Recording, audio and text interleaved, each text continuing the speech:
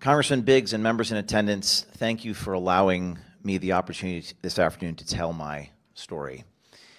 I especially want to thank all members of the House Judiciary Committee for the recent unanimous bipartisan support of new legislation protecting journalists from government overreach.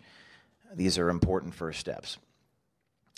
But as we face a government that in May of 2021 promised the seizure of journalist data is, quote, simply, simply wrong, unquote, and, quote, will not happen, while simultaneously actively seizing journalists' data, it is clear that the framework of journalist protection that relies upon the government to tell the truth, well, that framework is not enough.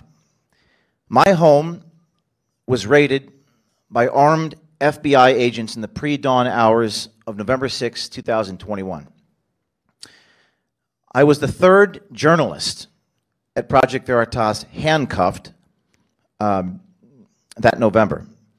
The FBI took off with 47 devices from our newsroom.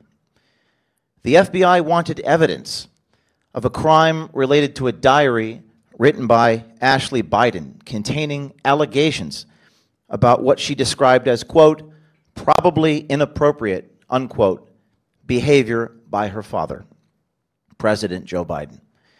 The diary and other items supposedly belonging to Ashley Biden were lawfully given to us by sources who had been in possession of those items before Project Veritas was ever even contacted by the sources. And we have a little video clip here of the raid.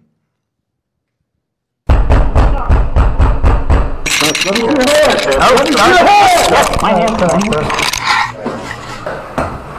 Um,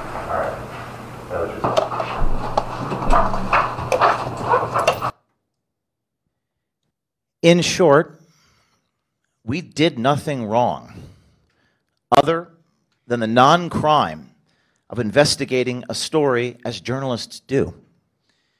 When we reached out to the Biden campaign for comment, Ashley Biden's attorney, a woman named Roberta Kaplan, responded by saying, quote, we should send to the Southern District of New York, unquote.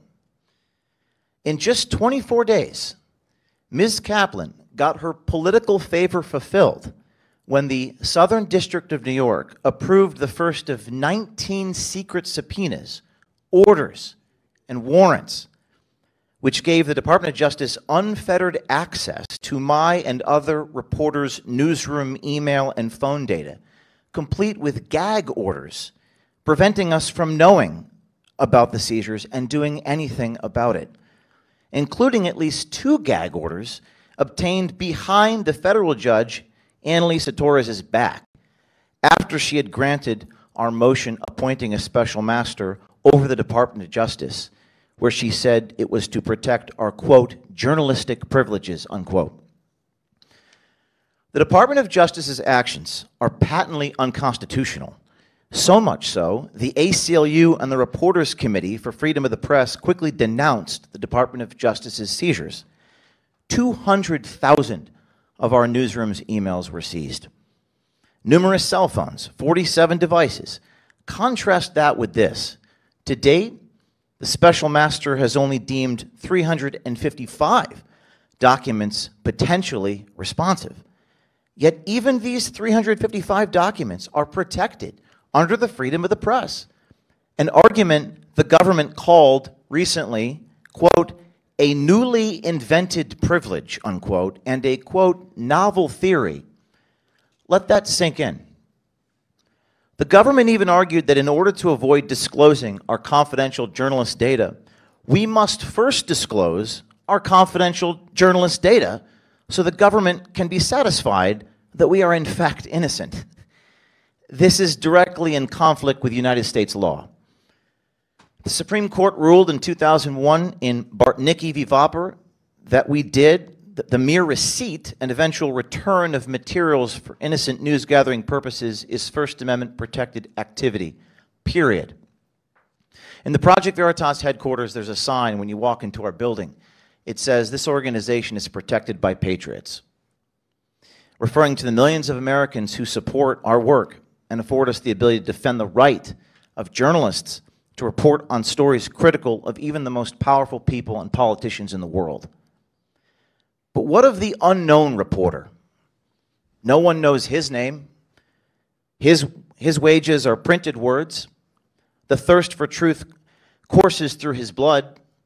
He believes in the maxim even if only one person listens to my investigative report, it's worth doing because the truth matters.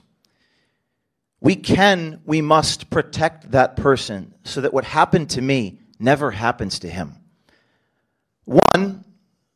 I'm calling on all of you to create a Bartnicki hearing, a requirement that before subpoenas, warrants, or orders seeking to seize journalists' information can issue, the government must first give notice and a hearing to the journalist with the burden of proof resting squarely on the government to clearly and convincingly, the clear and convincing standard above the probable cause standard, prove the journalist in fact played a part in committing the crime being investigated, rather than requiring the journalist to prove with negative of innocence. Innocent until proven guilty, that concept is incompatible with probable cause against a journalist. Two, codify the right of journalists to challenge any subpoena, warrant, or order seeking to seize data from a third party, where that data includes the journalist information. No more secret seizures of journalist information, period. Three, fix the Privacy Protection Act and the 2703D process to provide for clear and meaningful damages to reporters who, like Project Veritas, have to spend millions in legal fees and legal bills to defend themselves from such egregious violations of the First Amendment. What steps you take now as members of Congress to protect freedom of the press are essential.